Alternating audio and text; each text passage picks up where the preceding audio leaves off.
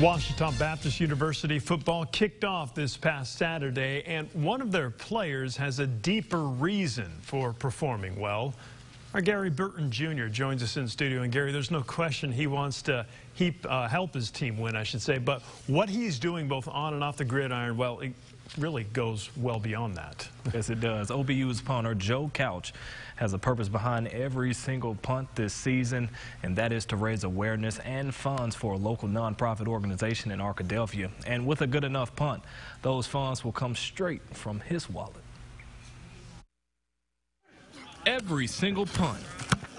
For Ouachita Baptist Jr. Australian punter Joe Couch could cost a pretty penny as he punts for a purpose to help group living a local nonprofit in Arkadelphia. That's a great organization. Group Living provides normalization skills and living assistance to adults with developmental disabilities. We promote independent lifestyles and being able to live as normal of a life as possible.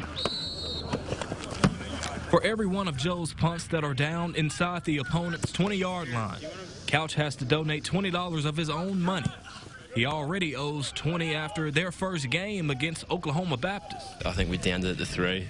So, you know, first game was obviously good to get, get it inside 20. Joe is a kinesiology major, and their department has an event where students work with the group living clients. And that's where he decided to get involved. From there, I was just like, you know what, if I can help in any way and, and get some awareness for what they're doing. We're excited to see where group living will go now that Joe has taken off with Punting for a Purpose. Joe hopes to create as much recognition as possible for group living, one person, punt, and dollar at a time. I love working with them, and I think they've, they've shown a lot of love too. So I can't wait to just keep working week by week and, and have the relationship grow. And Joe says there have been a few punters in the Great American Conference reach out to him to get involved with punting for a purpose. But if you're not a punter and just an average Joe, you can just donate. We'll have that information on our website, fox16.com. Back to you guys.